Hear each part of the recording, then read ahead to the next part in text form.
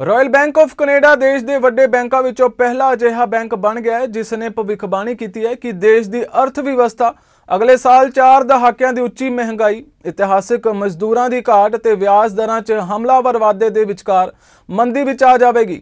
Royal bank ਦੇ ਅਰਥ ਸ਼ਾਸਤਰੀਆਂ ਅਨੁਸਾਰ ਬੇਰੋਜ਼ਗਾਰੀ ਦੀ ਦਰ ਪਿਛਲੀ ਫੋਲ ਦੀ ਮੁਕਾਬਲੇ ਮਾਮੂਲੀ ਵੱਧ ਸਕਦੀ ਹੈ। बेसिक चीज़ें इतनी महँगी नहीं होनी चाहिए क्योंकि वो ब्रेड है एग्स हैं like sugar everything is the price जो है वो अप होते जा रहे हैं जिसकी वजह से हम लोगों को काफ़ी मुश्किल हो रही है। और हाँ, पहले तो काफ़ी अच्छा था कि वॉलमार्ट या हम सर्च कर लेते थे कि इधर उधर से ले लेंगे लेकिन अब तो हर जगह ही महँगी हैं चीज़ें ना।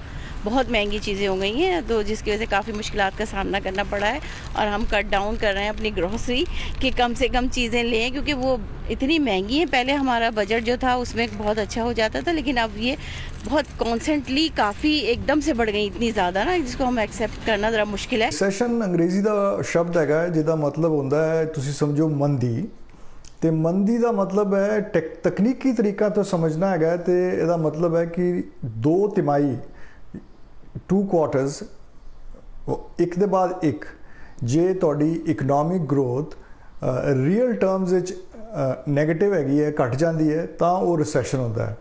ਮਤਲਬ ਹੋਇਆ ਕਿ ਜਿਵੇਂ ਇਕਨੋਮੀ 6% ਤੋਂ ਅੱਗੇ ਵਧੀ, ਲੇਕਿਨ ਸਾਡੀ ਇਨਫਲੇਸ਼ਨ ਅਗਰ 8% ਹੈ, ਤੇ ਉਹ ਰੀਅਲ ਤਰੀਕੇ ਨਾਲ -2% ਪਿੱਛੇ ਹੋ ਗਈ।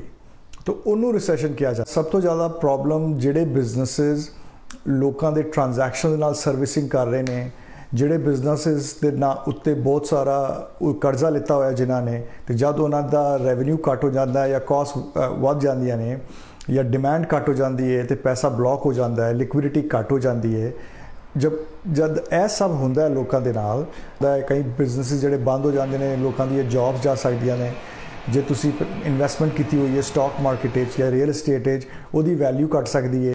ਥਿੰਕ ਜਿਹੜਾ ਸਮਾਲ ਬਿਜ਼ਨਸਮੈਨ ਹੈ, ਉਹ ਆਲਰੇਡੀ ਦੇਖ ਰਿਹਾ ਹੋਣਾ ਆਸ-ਪਾਸ ਕੀ ਕੀਮਤਾਂ ਵਧ ਰਹੀਆਂ ਨੇ।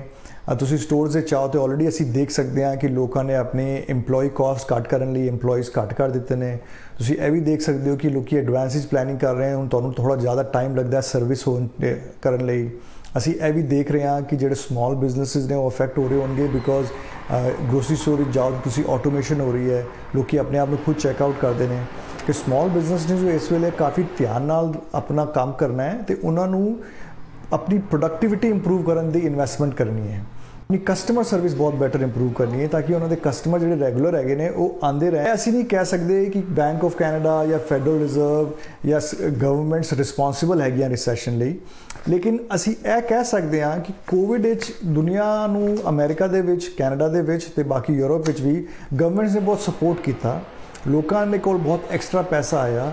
ਉਹ ਘਰਾਂ 'ਚ ਬੈਠੇ ਸੀ ਤੇ ਉਹਨਾਂ ਨੇ ਖਰਚਾ ਜੇ ਟਰੈਵਲ ਤੇ ਨਹੀਂ ਕੀਤਾ, ਉਹਨਾਂ ਨੇ ਖਰਚਾ ਜੇ ਹੋਰ ਚੀਜ਼ਾਂ ਤੇ ਨਹੀਂ ਕੀਤਾ ਤੇ ਉਹਨਾਂ ਨੇ ਖਾਣ ਪੀਣ ਤੇ ਤੇ ਕੰਜ਼ੰਪਸ਼ਨ ਤੇ ਕੀਤਾ। ਨਾਓ ਹੁਣ ਜਦ ਇਨਫਲੇਸ਼ਨ ਹੈਗੀ ਏ, ਤੇ banks have to control the inflation because ਜਦ ਕੀਮਤਾਂ ਵਧਦੀਆਂ ਨੇ, ਤਾਂ ਸਭ ਤੋਂ ਜ਼ਿਆਦਾ ਇੰਪੈਕਟ ਜਿਹੜਾ ਤਬਕਾ ਘੱਟ ਪੈਸਾ ਕਮਾਉਂਦਾ ਹੈ, ਉਹਨਾਂ ਦੇ ਉੱਤੇ ਹੁੰਦਾ ਹੈ।